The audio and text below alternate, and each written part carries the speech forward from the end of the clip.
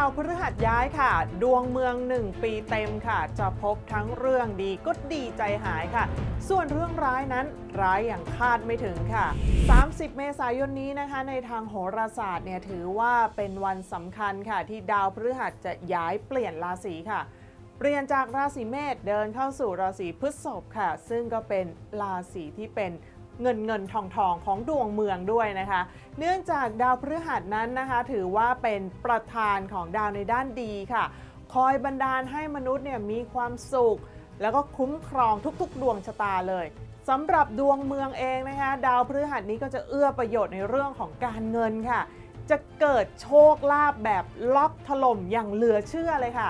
ส่วนเกณฑ์ด้านร้ายนั้นนะคะก็น่ากลัวอยู่หลายด้านด้วยกันนะคะ โดยเฉพาะเรื่องเศร้าค่ะจะต้องเตรียมใจเอาไว้เลยว่าอาจจะเกิด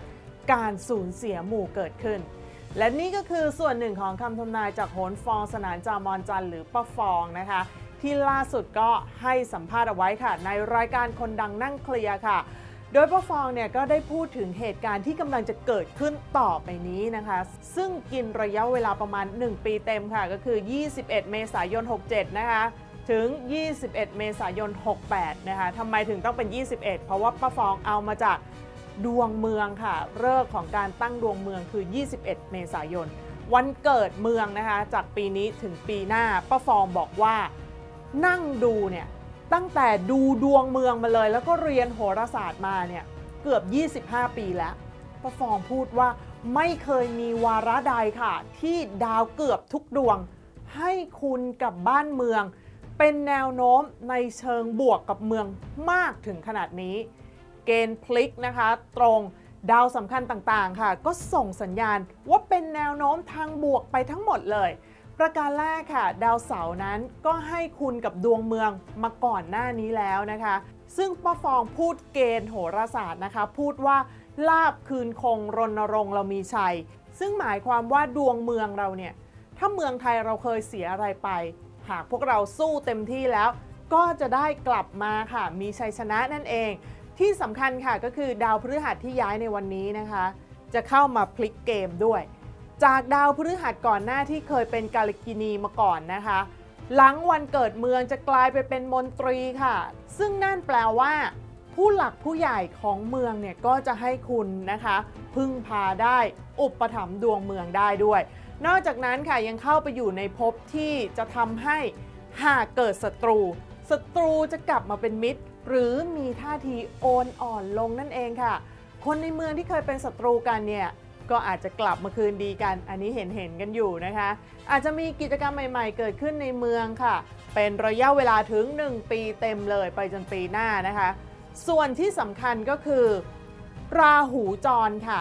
ตรงนี้นะคะก็จะให้คุณกับดวงเมืองตรงที่ว่าเราหวังอะไรไว้ ก็จะได้อย่างที่ประเทศไทยเราหวังค่ะ แล้วก็จะได้เห็นกิจกรรมทางเศรษฐกิจใหม่ ๆ ค่ะ ตลาดหุ้นที่เคยเดินหน้าหนึ่งแล้วก็ถอยหลังไป 2 สถานการณ์จะพลิกเลยพลิกผันกลับเป็นเดินหน้าไป 2 แล้วค่อยถอยหลังแค่1เท่านั้นนะคะ และเรื่องรุนแรงค่ะ มันก็มีบ้างเหมือนกันนะคะ ฟังเรื่องดีมาแล้วนะคะ เรื่องร้ายก็มีที่จะต้องระวัง เพราะว่าป้าฟองบอกว่าตำแหน่งที่ดาวพฤหัสบดีเนี่ยเดินมาแล้วเจอกับพระอังคารนะคะ จุดที่มาพบกันนั้น มันจะมีปรากฏการณ์ค่ะที่เรียกว่า ฝนตกขี้หมูไหล คนอะไรมาพบกัน หรือเหตุการณ์อะไรมันอาจจะเกิดขึ้นได้นะคะในเมืองนี้ ซึ่งเป็นเหตุการณ์ที่จะทำให้เมืองไทยเนี่ยฮือฮาเกลียวกราวเป็นข่าวดังนั่นเองค่ะ เรื่องที่ 2 อาจจะเกิดเหตุการณ์เศร้าโศกหมู่ เจ็บหมู่ สูญเสียหมู่เกิดขึ้น ซึ่งเรื่องนี้นะคะจะรอเกิดขึ้นตลอดทั้งปีเลย เริ่มต้นตั้งแต่สงกรานเป็นต้นไปแล้วนะคะป้าฟอร์มบอกว่า ไอสิ่งที่น่ากลัวเนี่ยป้าฟองยกตัวอย่างเหตุการณ์ที่สุพรรณบุรีค่ะ ก็คือเรื่องของพลุระเบิดนะคะ แบบนั้นเรียกว่าเศร้าโศกเสียหายหมู่นะคะ แล้วก็เหตุการณ์แบบเนี้ยป้าฟองบอกว่ามันยังไม่จบ จากเกณฑ์ดาวแล้วมันรอที่จะเกิดขึ้นอีก ซึ่งอาจารย์ยิ่งศักดิ์ค่ะที่เป็นพิธีกรในรายการนะคะ ก็ถามว่ามันจะเป็นอะไร มันจะเป็นอุบัติเหตุหรอ หรืออาจจะเป็นภัยธรรมชาติด้วยได้ไหม ก็ได้รับคำตอบจากป้าฟองค่ะว่า มันเป็นไปได้ทั้งหมดทั้งสิ้นค่ะ